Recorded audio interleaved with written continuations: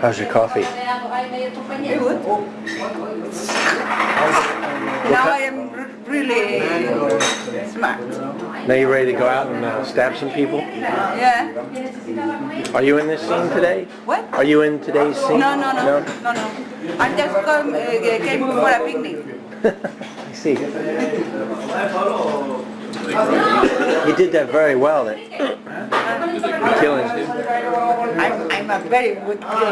You're a professional. Of course, I, I made more than 15, um, 50 uh, uh, Murderers. mur- murders, yes.